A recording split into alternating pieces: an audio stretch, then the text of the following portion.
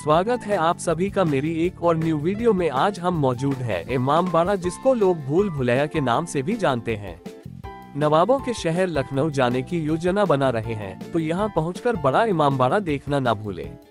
नवाबों के शहर लखनऊ में ऐसे तो देखने के लिए कई ऐतिहासिक इमारतें और धरोहर हैं, लेकिन यहाँ एक ऐसी प्राचीन इमारत है जिसे देखने के लिए दूर दूर से सैलानी आते हैं। इस धरोहर का नाम है बड़ा इमाम बाड़ा उत्तर प्रदेश की राजधानी लखनऊ में स्थित यह इमारत बेहद ही भव्य और खूबसूरत है। बड़ा इमामबाड़ा को भूल भुलैया, आसफी इमामबाड़ा भी कहा जाता है। इस इमामबाड़े का निर्माण अवध के नवाब आसिफ उद्दौला द्वारा सत्रह सौ चौरासी में शुरू किया गया था। उस दौरान भीषण अकाल भी आया हुआ था। नवाब द्वारा इस भव्य परियोजना को शुरू करने के उद्देश्यों में से एक अकाल राहत परियोजना के तहत लोगों को रोज़गार प्रदान करना भी था। कहा जाता है कि इसका सेंट्रल हॉल विश्व का सबसे बड़ा वॉल्टेड चैम्बर है। जानते हैं इस धरोहर के बारे में कुछ महत्वपूर्ण और दिलचस्प बातें। बेहद खूबसूरत है वास्तुकला। यहाँ आने वाला हर सैलानी इमामबाड़े की वास्तुकला को देखकर दंग रह जाता है। यह लखनऊ के सबसे प्रसिद्ध और खूबसूरत टूरिस्ट स्थलों में शुमार है, जिसे देखने देश विदेश से पर्यटक सालों भर आते हैं। इस इमारत की वास्तुकला में मुगल कला, राजपूत और गोथिक यूरोपियन प्रभाव देखने को मिलता है। इस भव्य इमारत का गुंबद नुमा हॉल लगभग 50 मीटर लंबा और 15 मीटर ऊँचा है। इमारत में बड़े बड़े झरोखे इसकी खूबसूरती में चार चाँद लगाते हैं। ये झरोखे ऐसे बनाए गए हैं कि मुख्य द्वारा से अंदर जाने वाले व्यक्ति को तो देखा जा सकता है, लेकिन झरोखे में बैठे व्यक्ति को अंदर जाने वाला व्यक्ति नहीं देख सकता है।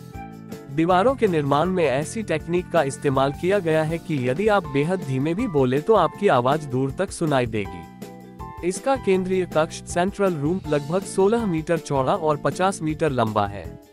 साथ ही यहाँ नौ अन्य हॉल भी हैं। छत पर जाने के लिए लगभग चौरासी सीढ़ियाँ हैं। ये ऐसे रास्ते से होकर जाती हैं कि कई बार लोग भ्रम में पड़ जाते हैं। यहाँ लगभग एक हज़ार से भी अधिक इमामबाड़े की दीवारों के बीच स्थित गलियारे हैं, जिन्हें भूल भुलैया कहा जाता है।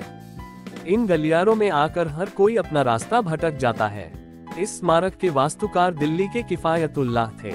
इन्होंने ही इस भव्य इमारत को डिज़ाइन किया था। इसके निर्माण में लगभग बीस हज़ार लोग लगाए गए थे और यह लगभग ग्यारह वर्ष में बनकर तैयार हुआ था। बड़ा इमाम बाड़ा में क्या देखें? यहाँ पर आप शाही हमाम बावड़ी देख सकते हैं, जो एक गहरा कुआ है। यह पाँच मंजिला है, लेकिन यह सिर्फ़ दो मंजिला दिखाई देता है और बाकी के तीन मंजिले पानी में डूबा हुआ है। इसे भी यूनानी वास्तुकला पर बनाया गया है। इसके अलावा, आप यहाँ आसिफी मस्जिद देख सकते हैं, जो एक विशाल मस्जिद है। हालाँकि, यहाँ गैर मुस्लिमों का प्रवेश वर्जित है। बड़ा इमामबाड़ा से संबंधित रोचक जानकारी।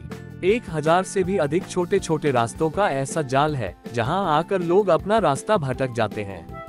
इस इमारत को इस तरह बनाया गया है कि आज तक कोई भी वास्तुकार इसकी कॉपी नहीं कर सका है।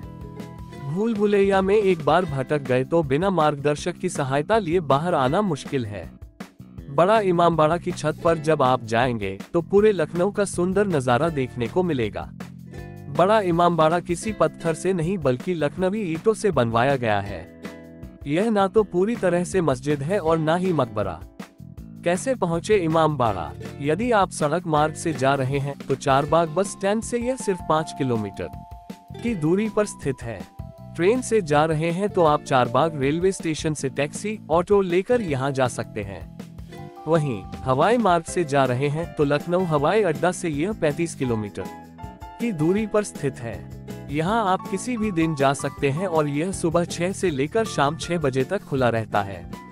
हालाँकि, इस इमारत को देखने के लिए कुछ एंट्री फ़ीस भी देनी पड़ती है। आज के लिए बस इतना ही, फिर मिलते हैं किसी और वीडियो के साथ। अरे, हमारे चैनल मोहित अवस्थी ब्लॉग्स के साथ।